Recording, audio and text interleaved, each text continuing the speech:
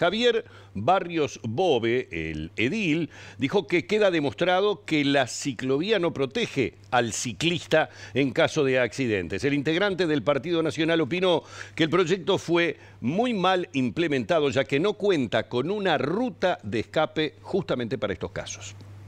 Es una de las cosas que nosotros habíamos avisado cuando se planteó el diseño de la ciclovía. Entendíamos que era insegura sobre todo para los ciclistas. Nosotros no estamos en contra de las ciclovías o las bicisendas, pero el diseño de 18 de julio podía llegar a crear estos problemas. Cuando una bicisenda, eh, perdón, una ciclovía se diseña contra el cordón de la vereda, hay un lugar de escape que se dice para el ciclista si tiene algún percance.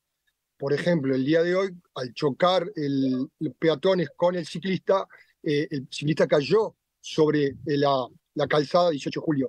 Si hubiese tenido un lado de escape, por ejemplo, una vereda, por ir del lado del cordón, no hubiese pasado el accidente de hoy. Por suerte fue una desgracia con suerte, eh, que no pasó a mayores, pero si hubiese caído, ese ciclista hubiese caído a los pies de la misma camioneta o a los pies de, un ómnibus, hubiésemos tenido una tragedia. La ciclovía no debía estar en el medio 18 de julio, se debió haber utilizado Colonia eh, como paralela a 18 de julio y haber hecho contra el cordón de la, eh, contra el cordón de la vereda algo similar a lo que ocurre en el tramo de San José.